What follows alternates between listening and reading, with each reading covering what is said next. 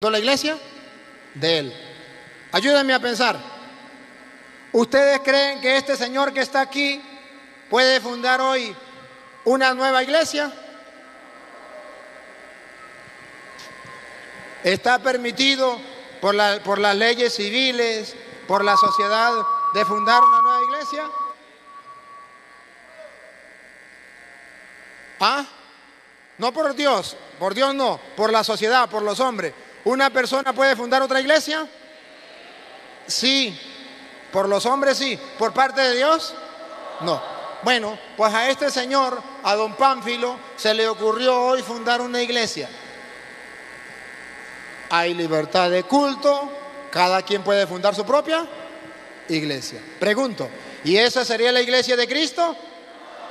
No, esta sería la iglesia de don Pánfilo. Pero si don Pánfilo dice que esa es la iglesia de él, ¿cuántas personas van a ir con él? Nadie. De una vez cae en la ruina, quiebra. Para que la gente lo siga, ¿qué tiene que decir don Pánfilo?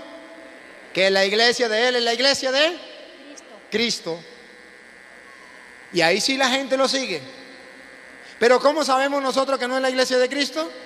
Porque la iglesia de Cristo ya tiene dos mil años. No le puedo creer. Cristo fundó una iglesia en la persona de Pedro. Tú eres Pedro, que significa piedra. Y después dice, ¿cómo sigue ahí? Yo te daré las llaves del reino de los cielos. No, no, un poquito más atrás. Antes. Tú eres Pedro, que significa piedra. Ajá. Y ahora yo te digo que tú eres Pedro, o sea, piedra, y sobre esta piedra edificaré mi iglesia, que los poderes del reino no podrán vencer. Los poderes del infierno no la podrán vencer. La iglesia de Jesucristo, ¿quién la puede vencer? Nadie, nadie, nadie a lo largo de los dos mil años ha vencido la iglesia de Cristo. Nosotros tenemos la iglesia de Cristo, ella ha existido a lo largo de todos los tiempos. Fíjense ustedes, por ejemplo, ustedes quieren saber qué papa existía en el año 100, usted va y busca en la historia, aparece el nombre, aparecen las cartas que escribió, lo que él dijo y enseñó. Si ustedes quieren buscar el Papa del año 50 o el año 100 o el año 200, usted lo busca y lo encuentra. Pero ahora búsqueme qué pastor existía antes del año 1520 cuando Martín Lutero fundó la iglesia protestante. ¿En qué parte del mundo estaban? Por eso ustedes verán que los protestantes dicen, Cristo fundó una iglesia, pero una iglesia espiritual. ¿Saben por qué dice que una iglesia espiritual? Para cuando usted le pregunte, ¿dónde estaban ustedes en el año 1500? Dice, existíamos, pero espiritualmente. Para engañar a los tontos. No, no, Cristo fundó una iglesia en la persona de Pedro. Aquí vemos entonces en Hechos de los Apóstoles 1, 1 este, 12 que estamos leyendo, que el primero que estaba ahí era Pedro, a quien Cristo le había dicho, tú te llamas Simón, de ahora en adelante te llamarás Kefa, que quiere decir piedra, y sobre esta piedra edificaré mi iglesia. Ajá, ya tomamos la primera foto, siga leyendo de Hechos de los Apóstoles 1, 12 en adelante, para tomar la segunda foto. Vivían Pedro y Juan, Santiago y Andrés, Felipe y Tomás, Bartolomé y Mateo, Santiago, el de Alfeo, Simón de Soroeta y Judas de Santiago. Todos ellos perseveraban en la oración. Escuchen lo que viene aquí. Todos ellos perseveraban en la oración con un mismo espíritu, en compañía de algunas mujeres. En y- compañía de algunas mujeres. Aquí las mujeres no son muy importantes, por eso no se le da el nombre. Compañía de algunas mujeres. Siga. y de María, la madre de Jesús, Ah, pare ahí, porque ahí vamos a tomar la foto. Dentro de la iglesia de Jesucristo que estaba esperando al Espíritu Santo, había una mujer que sí era importante. María, la madre del Señor. Ayúdenme a ver ustedes. Si María no hubiese sido importante, la hubiesen metido en el saco de las mujeres, porque arriba dice, en compañía de algunas, Mujeres. como María también podía estar metida ahí, pero no, la saca aparte, de las mujeres la saca, la saca del saco de las mujeres y la pone aparte, dice, en compañía de algunas mujeres y, Y de- de María, la madre del, tomo la foto. Jesús. En la iglesia de Jesucristo, la que vino el Espíritu Santo sobre los apóstoles, sobre la iglesia, había dentro de la iglesia una mujer importante, la madre del Señor. Dos mil años después tomamos la foto. ¿Cuál es la iglesia que todavía después de dos mil años tiene a María como ficha importante dentro de la iglesia? ¿Cómo llama la iglesia? La católica. Y si los protestantes, ellos eran la iglesia de Cristo, ¿dónde dejaron a María? ¿Se les quedó en el camino? Sí, la dejaron botada. ¿La dejaron botada? Aquí la iglesia de Jesucristo tiene a María dentro. ¿Quieren otra cita? Otra, otra foto, vamos a tomar otra foto. Vino el Espíritu Santo, Hechos de los Apóstoles capítulo 2. Después de la venida del Espíritu Santo, tenemos Hechos 2.42. ¿Cómo vivía esa iglesia? Vamos a ver cómo vivía esa iglesia. Hechos 2.42. La primera comunidad. Acudían asiduamente a la enseñanza de los apóstoles. Párelo ahí un momentico. La iglesia de Jesucristo acudía asiduamente a la enseñanza de quién. De los apóstoles.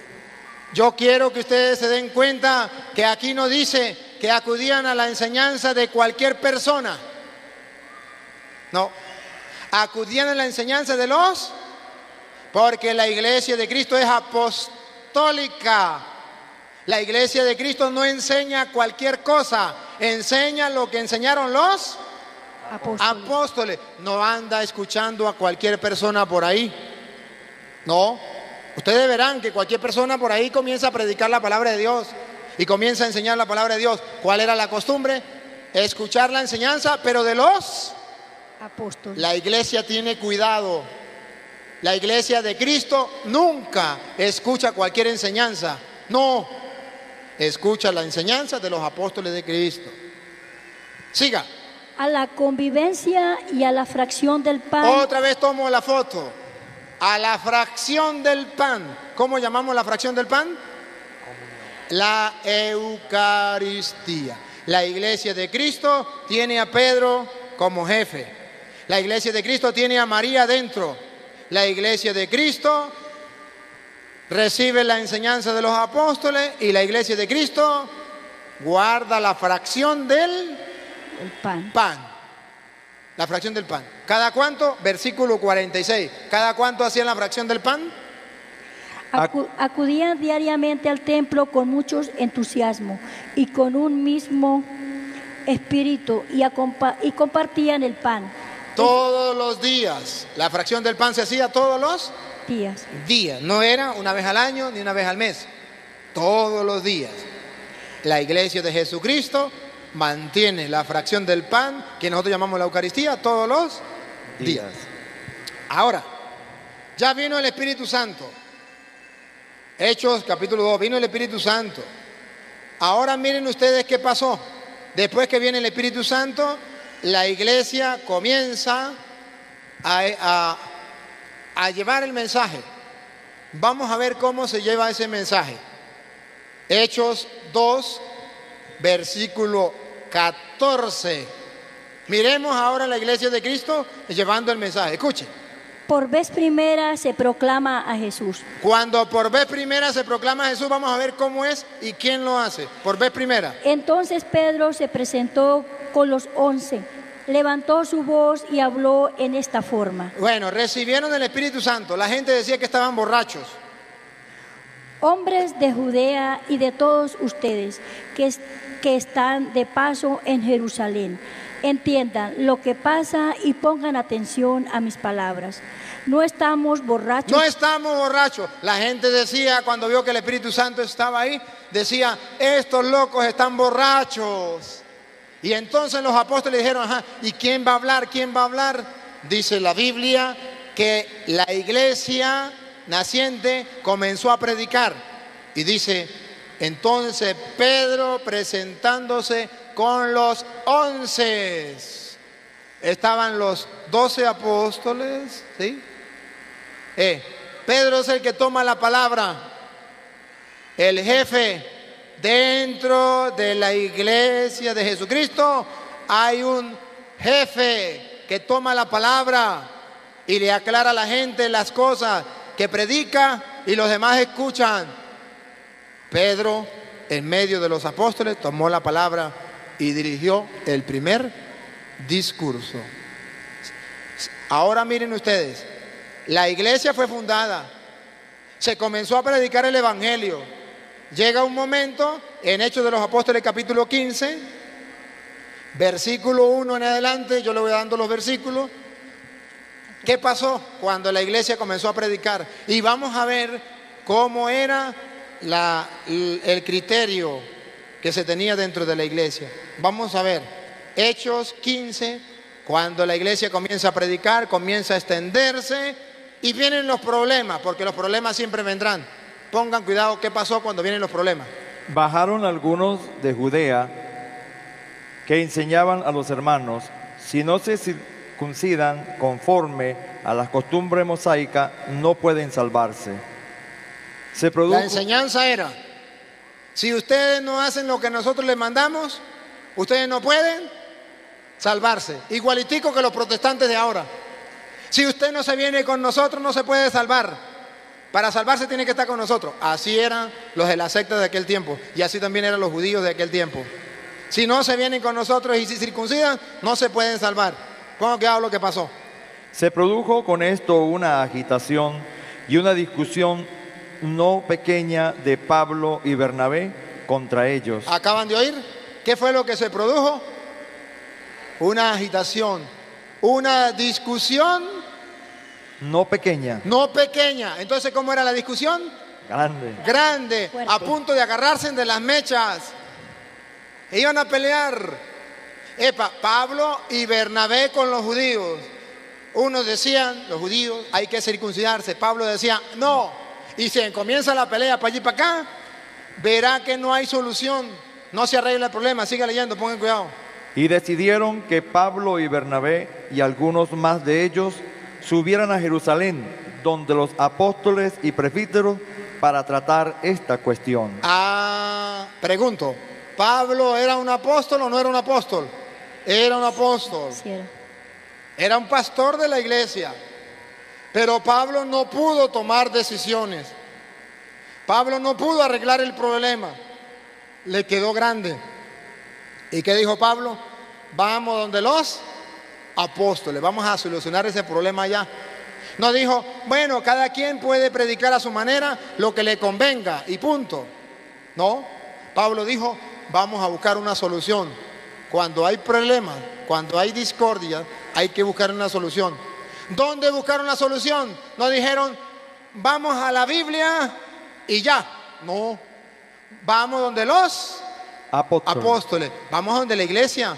Que sea la iglesia la que tome la decisión. Luego dice el versículo 5. Este, eh, no, el versículo 4. El 4, versículo 4. Al llegar a Jerusalén fueron recibidos por la iglesia, por los apóstoles y los presbíteros, a quienes contaron todo lo que Dios había hecho por su intermedio. Se reunieron entonces allí con la iglesia, ahí estaban los apóstoles. Versículo 5.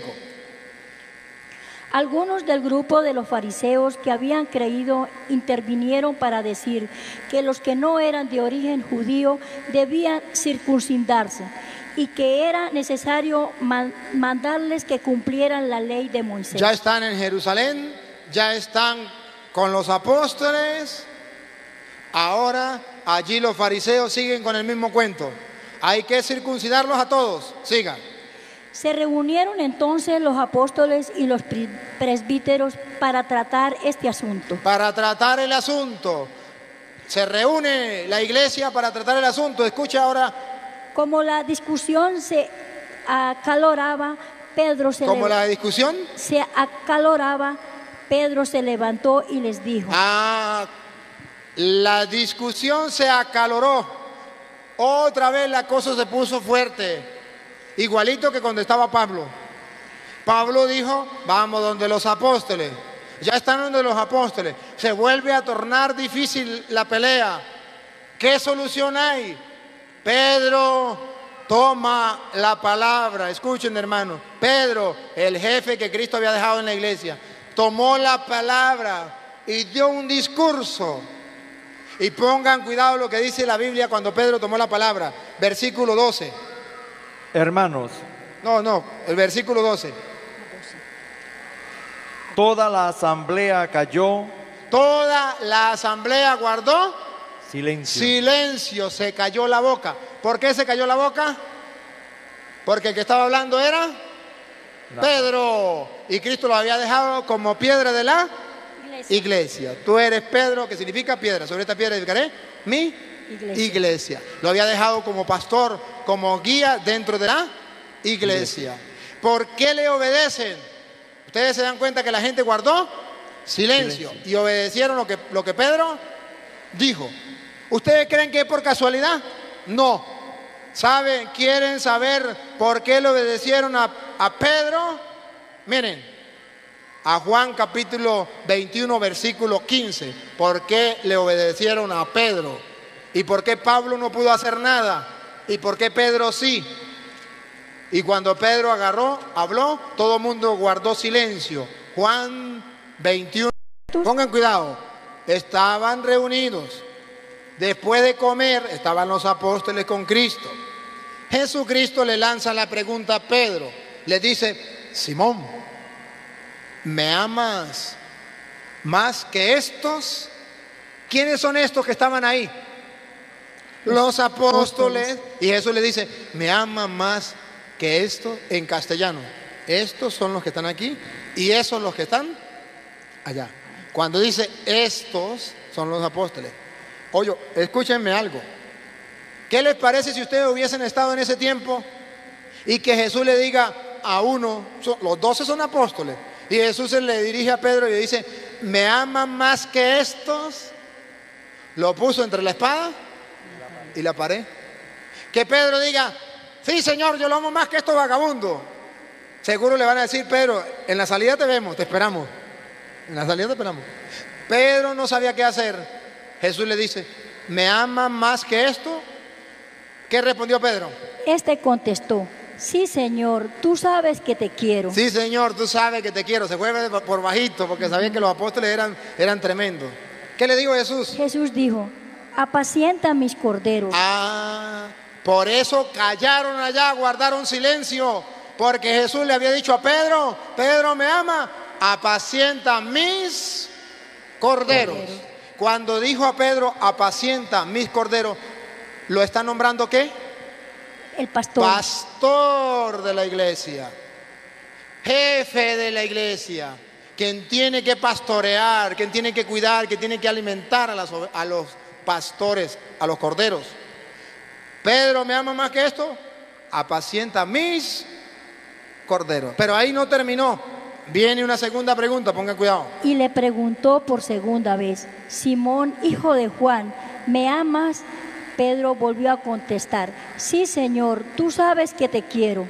Jesús le dijo, cuida mis ovejas. La segunda pregunta es distinta a la primera. La primera es, ¿me amas más que estos? La segunda es, ¿me amas? Así, ¿me amas?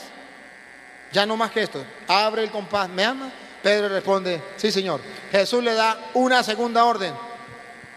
Cuida mis ovejas. En la primera era, apacienta mis. Ovejas. Corderos. Corderos. Y en la segunda, cuida mis Ovejas. ovejas. Le dio poder a Pedro sobre los apóstoles. ¿Y cómo llamó a los apóstoles? Corderos. Ahora le da poder a Pedro sobre las ovejas, el resto de creyentes. Y por tercera vez, ponga cuidado la pregunta que le hace. Insistió Jesús por tercera vez, Simón Pedro, hijo de Juan, ¿me quieres? Pedro se puso triste al ver que Jesús le preguntaba por tercera vez si lo quería. Le contestó, Señor, tú sabes todo y Tú sabes que te quiero. Entonces Jesús dijo, apacienta mis ovejas. Por tercera vez le preguntó y Pedro le dijo que sí y le dijo, apacienta mis ovejas. En el primero le dio el poder de ser pastor sobre solamente los apóstoles. En la segunda sobre los laicos y en la tercera sobre toda la Iglesia. iglesia. No sé si ustedes han escuchado este lema que tienen los, los que estudian las Sagradas Escrituras. Y los protestantes que me escuchan deben saberlo, porque ellos también dicen estudiar la Escritura. El lema es, cuando la Biblia dice algo es porque es importante. Tante.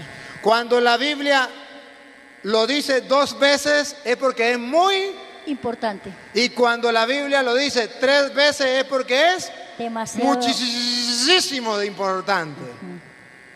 Aquí cuántas veces dice que Pedro es el pastor? Tres veces. Para que los apóstoles se le grabe aquí y aquí. Para que ustedes y yo dos mil años después digamos, sí, Cristo dejó un pastor dentro de la iglesia. Sí dejó un jefe, sí dejó un guía. Pedro, apacienta mis corderos, apac- cuida mis ovejas, apacienta mis ovejas. Tres veces. Esto significa que es muchísimo importante que dentro de la iglesia se reconozca a un jefe, a un pastor, a un guía o, o que nosotros llamamos papa. ¿Sí? Es importante. Y porque es importante, por eso cuando Pedro tomó la palabra, toda la asamblea guardó Silencio. silencio. Después de estar acalorados, después de una larga discusión, después que estaban que se agarraban de la mecha, Pedro con su presencia se calmó todo. ¿Saben por qué? Porque Lucas 22, 31, Jesús le hizo otra jugada a los apóstoles. Lucas 22, 31. Vamos a escuchar cuál es la jugada que Jesús le dio a los apóstoles y cómo le dijo que tenían que respetar a Pedro. Pongan cuidado. Simón, Simón, mira que Satanás ha pedido permiso para sacudirlos a ustedes. Están reunidos los apóstoles con Pedro y le dice, Simón, Simón, mira que Satanás ha pedido permiso para zarandearlos a ustedes. Siga. ¿Cómo se hace con el trigo? Como se hace con el trigo. El diablo los quiere zarandear a ustedes como se hace con el trigo. Pongan cuidado lo que viene. Pero yo he rogado por ti para que tu fe no se venga abajo. Siga. Tú entonces cuando hayas vuelto tendrás que for- fortalecer a tus hermanos. A Pedro le dio el poder de fortalecer los hermanos, ¿sí o no? Sí.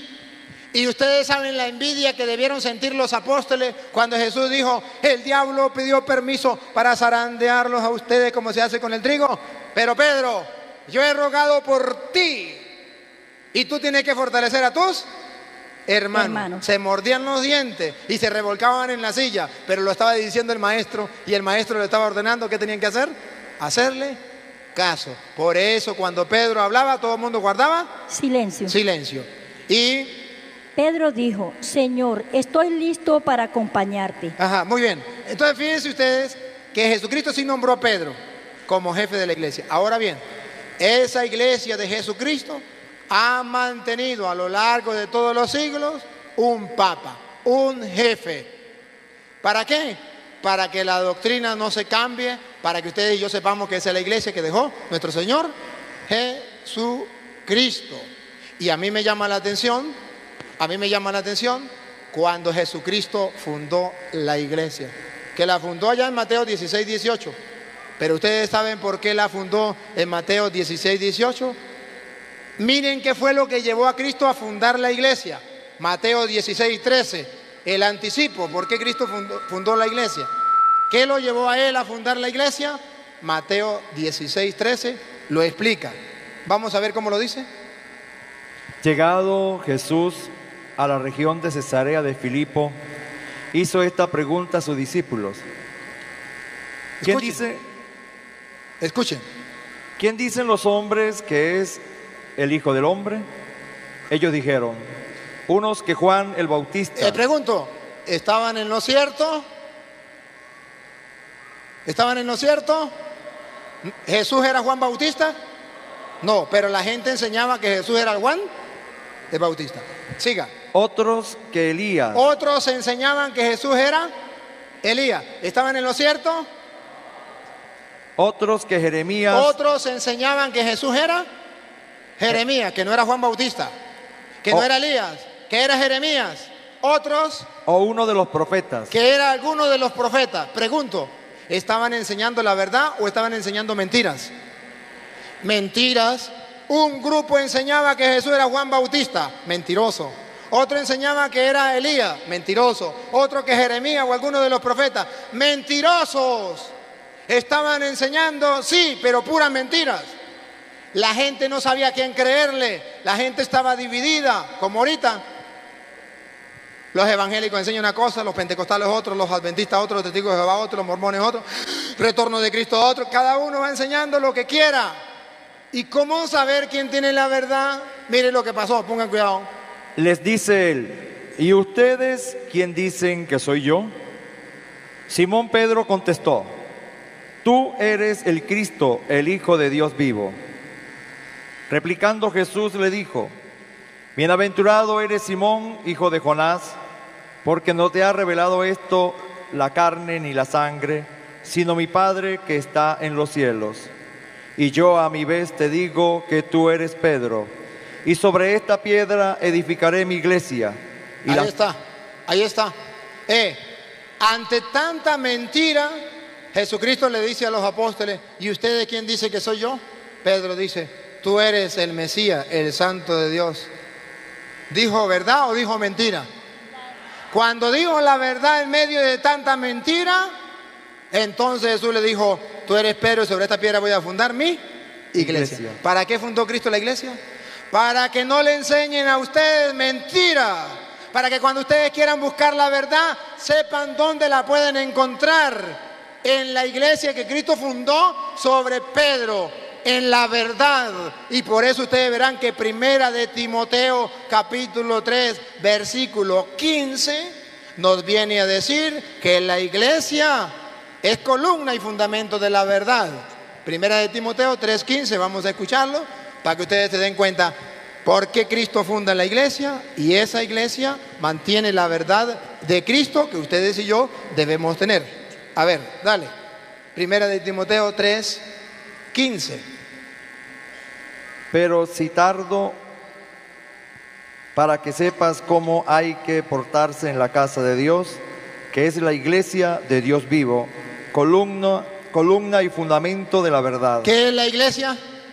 Columna Columna y fundamento de la verdad. de la verdad. Ven, ven- vengan ustedes dos para acá. Dos, vengan, vengan ustedes dos. Voy a explicarle a ustedes qué quiere decir Pablo con esto. Que la iglesia es columna y base de la verdad. Escuche, que ustedes y yo no podemos creer que la verdad eh, la trae cualquier persona que traiga la Biblia. Ustedes no se han dado cuenta cómo hacen los hermanos protestantes cuando van a conquistar a un católico, llegan a la casa y le dicen, hermano, vengo a predicarle la palabra de Dios, porque la palabra de Dios es vida y salvación para quien lo escucha. Usted sabe que Juan capítulo 8, versículo 47 dice, el que es de Dios, la palabra de Dios escucha. Y si usted no la escucha es porque usted no es de Dios. Y usted dice, ay caramba, así es que tengo que escucharle, porque si no le escucho, no soy de Dios. Ve, y la palabra de Dios trae la verdad. Sí, la palabra de Dios sí trae la verdad pero no es garantía de la verdad. Yo no le puedo creer a una persona porque traiga la Biblia de que tiene la verdad. Dígame, ¿qué es lo que los brujos tienen allá en la, sala antes de más nada? Una imagen de la Virgen del Carmen y la Santa Biblia, para que la gente diga, ay, qué bueno, eso traen, ese es un brujo bueno. Sí. Traen la verdad. ¿Por qué nosotros no debemos creer a las personas que traen la Biblia diciendo que traen la verdad por lógica y razonable. Mire un ejemplo. Esta hermana es pentecostal unida de Venezuela y esta hermana es católica y llegan a un pueblo. Esta hermana con la Biblia comienza a predicar al pueblo, es pentecostal unida de Venezuela, conquista 100 personas. Las 100 personas están detrás de ella, pero como ella es gordita, ustedes no lo pueden ver. Y esta hermana viene y conquista con la Biblia 100 personas. También es gordita, no se puede ver. Están detrás de ella. Ojo, las dos traen la Biblia. Yo quiero mostrarle que la Biblia tiene la verdad Pero no me garantiza que la persona que lleve la Biblia me vaya a predicar a mí la verdad. Te lo voy a explicar con un ejemplo. Ella conquistó 100 y están detrás de ella. Ella conquistó 100 y están detrás de ella. Ella con las 100 personas que conquistó con la Biblia, les enseñó que la Santísima Trinidad es el diablo. Y ella con la Biblia le enseñó que la Santísima Trinidad es el misterio de un solo Dios en tres divinas Personas. personas. Pregunto a una persona que sea capaz de pensar, ¿puedo yo decir que es lo mismo? Una persona que sea capaz de pensar se da cuenta que no es lo mismo decir que la Santísima Trinidad es el diablo a decir que la Santísima Trinidad es Dios. Misterio. No es lo mismo. Ojo, pero las dos traen la Biblia. Y si las dos traen la Biblia, y la Biblia, Mateo, este, Juan 8, 47 dice, el que es de Dios, la palabra de Dios escucha. Y si ustedes no la escuchan porque no es de Dios, entonces ¿cómo hago yo para saber quién tiene la verdad? Por eso Pablo dice en 1 de Timoteo 3:15, la base y columna de la verdad es la iglesia. ¿Cómo sé yo cuál de las dos trae la verdad? La que traiga la Biblia. Las dos traen la Biblia. La que pertenezca a la iglesia de Cristo, que es columna y base de la Iglesia. verdad. Esa me trae la verdad. Ahora miren, capten ustedes la idea para ver si es lo mismo. Esta hermana a 100 le dijo que la Santísima Trinidad era el diablo. Esta a 100 le dijo que la Santísima Trinidad es Dios. Pregunto, ¿las dos tienen la verdad? Una está diciendo mentira. El día en que se muera esa persona que está diciendo mentira, ¿usted cree que Dios que Dios no le va a tomar en cuenta esa mentira y ese engaño que hizo a las 100 personas que están detrás de ella? Sí le pedirá cuentas. Sí le pedirá cuentas. Por tanto, nosotros tenemos que asegurarnos, estar en la iglesia de Cristo, lo que tenemos que asegurarnos no es que traiga la Biblia.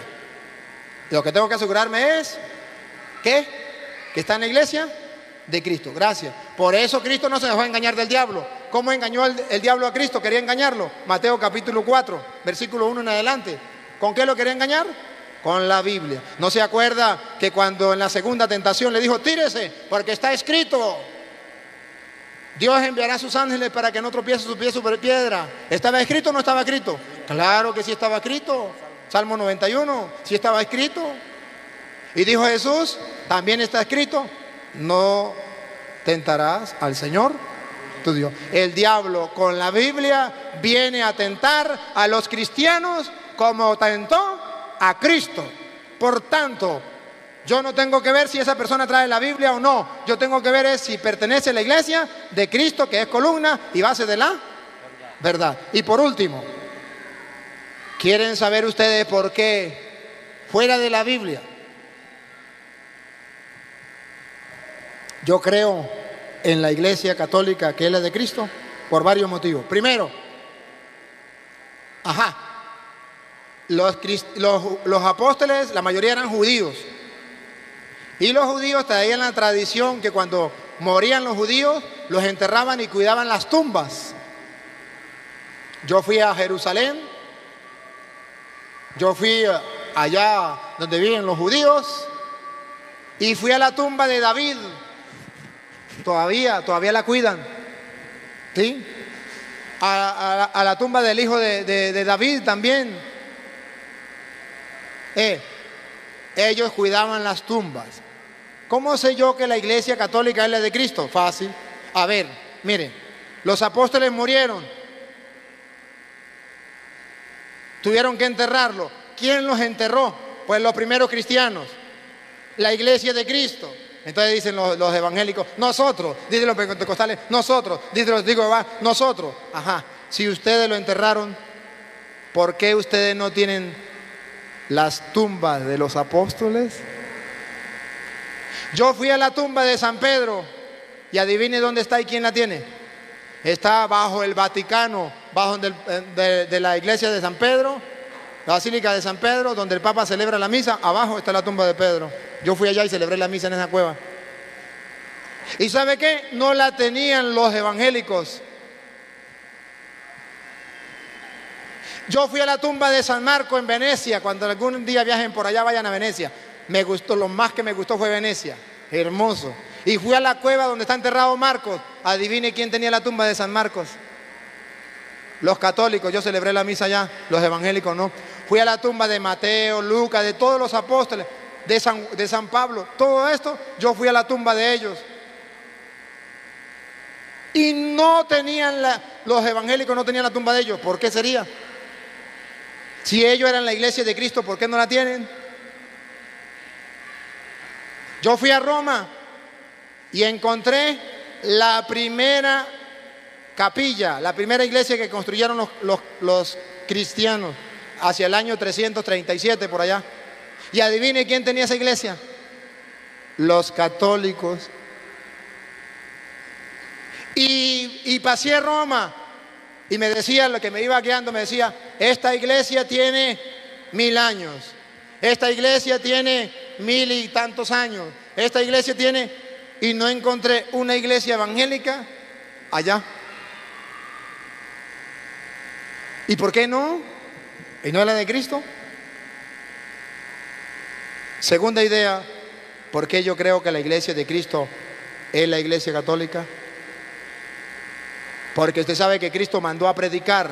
Vayan, prediquen el Evangelio a toda criatura. No repartió Biblias. Luego los apóstoles iban muriendo, comenzaron a escribir. Después se hizo la Biblia. Entonces yo pregunto, ¿cuál es la iglesia de Cristo? La iglesia que hizo la Biblia. La Biblia la hicieron los hombres. No estoy preguntando quién la escribió. Los profetas escribieron el Antiguo Testamento. El Nuevo Testamento, los apóstoles. No estoy preguntando quién la escribió, estoy preguntando quién la hizo. Cualquier protestante que me escucha me dice, Señor cura, ¿usted no sabe que la Biblia ya existía en tiempo de Cristo? ¿No se acuerda que un día Cristo agarró el rollo de Isaías y lo leyó? Ya existía la Biblia. Oh, no, ya existía una parte de la Biblia que nosotros llamamos Antiguo Testamento, pero eso no es la Biblia. La Biblia es Antiguo y Nuevo Testamento. Testamento. Entonces yo pregunto, ¿quién hizo la Biblia? La pregunta es, cuando yo digo quién hizo la Biblia es, ¿quién fue a Roma, agarró la carta a los romanos y la trajo? La metió aquí. ¿Quién fue a Éfeso? Trajo la carta de Efesios. ¿Quién fue a la Galacia? Trajo la carta a los Gálatas. ¿Quién fue a Filipo? Trajo la carta de los filipenses. ¿Quién fue a Tesalónica? Trajo la carta de los tesalonicenses. Y las metió en una sola. Y le dijo al mundo, esto es palabra de Dios. ¿Cómo se llamó esa persona? ¿A qué iglesia pertenecía? No se lo vayan a contar a los evangélicos, a los protestantes. Fue el Papa San Damaso I en el año 382 que hizo la Biblia. Y en el sínodo romano le gritó al mundo entero, esto es palabra de Dios. Y el mundo lo creyó. ¿Por qué los, eh, los protestantes no hicieron la Biblia si ellos son tan bíblicos? Y ustedes ven que ellos cargan la Biblia bajo el brazo y le dicen, vengo a predicar la palabra de Dios. Y yo para vacilarme le digo, ¿y usted sabe quién hizo la Biblia? Ah, no, pues lo hizo la Iglesia Católica, el Papa San Damaso I. Eh, y era Papa de la Iglesia Católica. ¿Cómo estoy yo seguro que la Iglesia de Cristo es la Iglesia Católica? Porque ella hizo la Biblia y el mundo creyó que eso era palabra de Dios. Hermanos, Dios nos ha dejado a nosotros una iglesia para que el mensaje de Dios llegue a toda la salvación, a, a todo el mundo entero, perdón, la salvación para el mundo entero. Dios ha dejado esa iglesia.